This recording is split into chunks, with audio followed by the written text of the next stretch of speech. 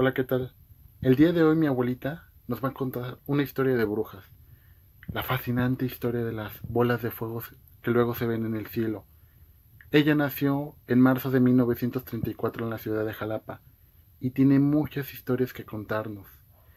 Y el día de hoy nos va a ilustrar con la historia de las bolas de fuego, que se dice que son las brujas.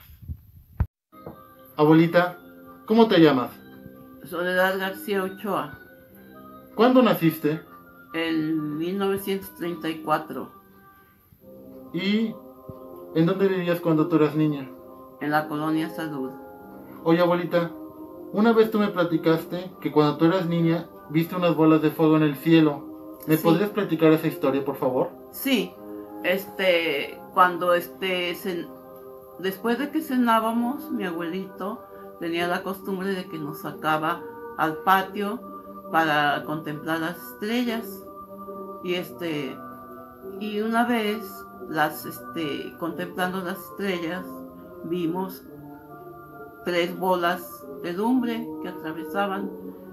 Entonces mi abuelito nos dijo, no se espanten, pero que entonces nosotros le, le contestamos, pero qué cosa son esas bolas de lumbre.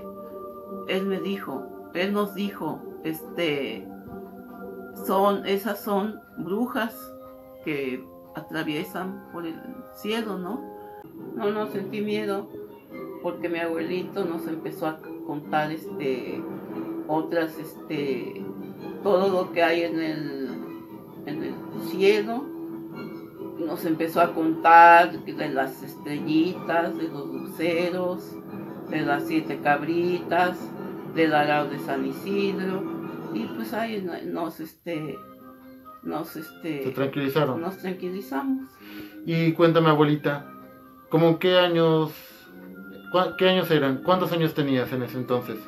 Como, como siete. Estamos hablando que eran entonces en los años 40 aquí de Jalapa. Sí, así es.